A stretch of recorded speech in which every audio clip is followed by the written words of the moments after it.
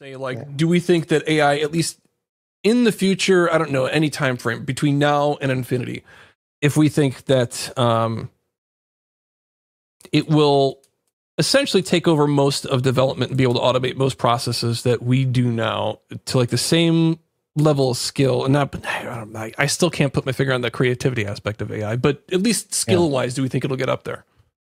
I mean, most is a big word, most of development, like you used. So mm. I mm-hmm. won't try to predict that far out. I do think at some point it will become a big factor. Let's put it that way, where where it'll be helpful enough that if you're not using it, you're at a big disadvantage, right? However, that day is not today, yeah. right? And and so yeah. so in the long term, I think AI will become pretty good. Uh, I mean, in the long term, it may we may actually get general intelligence and make it smarter than people. I don't know.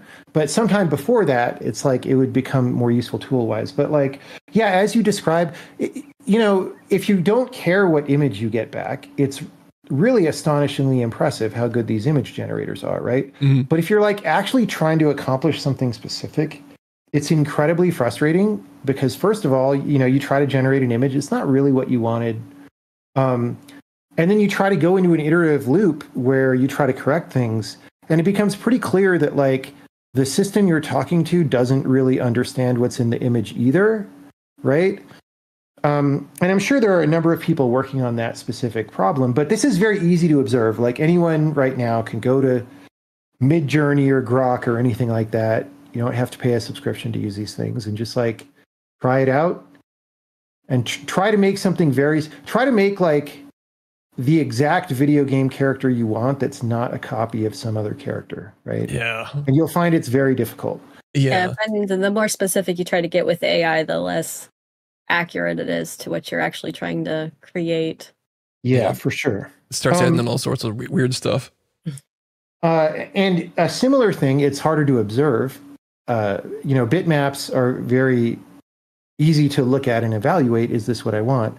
But programming is similar. Like you hear all this hype about how AI is awesome for programming and it'll do it makes me so much more efficient people say on Twitter and whatever. And like anytime someone says that now, I just know they're not very advanced programmers at all and probably spend most of their time doing very boilerplate things that probably shouldn't be programmed in the first place because it's a sign of bad code, right? If you're doing that stuff, um, then yeah, you tell the AI to like generate the 57,000th version of, you know, reading an event from Windows and you've got that. But like, that's the sort of thing that that's not what somebody really doing interesting work on a game is doing at all, right? Right. They're not doing glue code. They're not doing boilerplate code. I mean, there's a little bit of that stuff once in a while.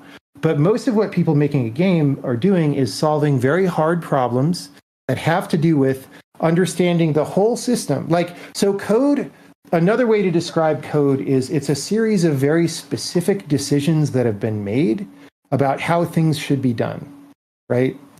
And those decisions all have to work together. And the more lines of code there are, the more decisions there are that all have to be coherent with each other, right?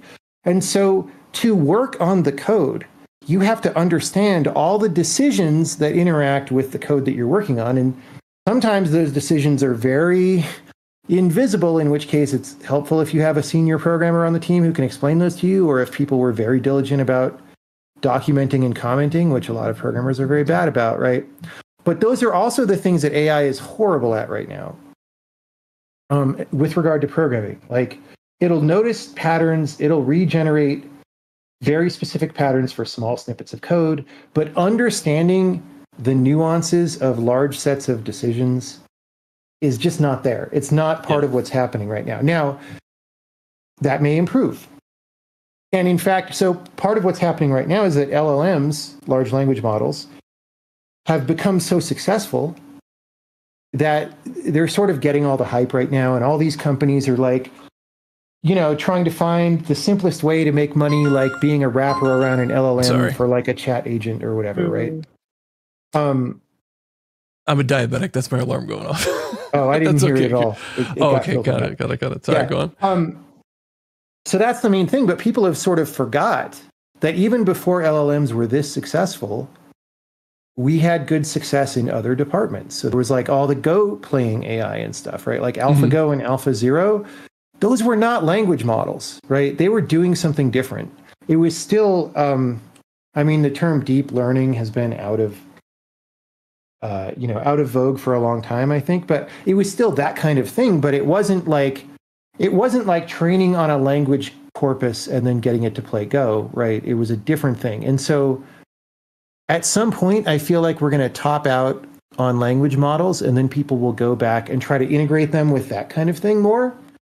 And we'll see. We'll, we'll see what that yields. So don't count AI out, right? But like, there's a lot of people overclaiming right now, like tremendously.